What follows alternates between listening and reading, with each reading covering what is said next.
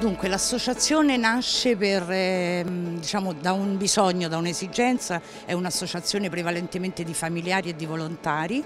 eh, nata per poter dare un'opportunità, una possibilità eh, a giovani con disabilità grave e complessa finita la scuola, che è quello diciamo che la parte dove poi eh, viene a mancare un po' qualsiasi tipo di opportunità, soprattutto se parliamo di ragazzi con disabilità complesse. L'associazione eh, tra gli obiettivi, tra le finalità è quello quindi del eh, promuovere il diritto all'uguaglianza di tutte le persone,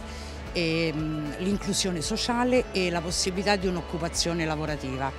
Ehm, per questo ehm, l'associazione è impegnata nella realizzazione di progetti con attività socio-educative e occupazionali diurne e con eh, la realizzazione di percorsi di, finalizzati all'autonomia, eh, percorsi diciamo, di accompagnamento per l'uscita dal nucleo familiare, quindi il cosiddetto dopo di noi, eh, un dopo di noi che chiaramente va costruito nel durante noi.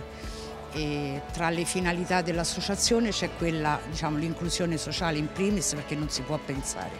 pensare che persone eh, per, eh, solo perché vivono una condizione di vita diversa, fatta di particolari disagi, debbano poi eh, finire diciamo, nell'isolamento mm, in casa o comunque nel, nel diventare invisibili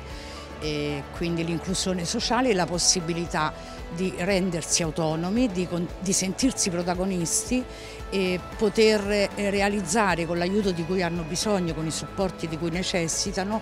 eh, attività lavorative, perché sappiamo quanto è difficile l'inclusione lavorativa, le categorie speciali per le persone con disabilità e, e ancora di più se la disabilità diventa grave. Il bene comune è, le, è una società che eh, se riesce a rispondere ai bisogni dei più fragili è una società eh, migliore per tutti, quindi diciamo che il bene comune dovrebbe essere questo, una società alla portata di tutti. Assolutamente sì, perché noi diciamo che eh, proprio spinti da quelli che sono poi i dati Istat ci rendiamo conto di quanto sia necessario il nostro impegno, cioè il terzo settore, il privato sociale oggi rappresenta un, eh,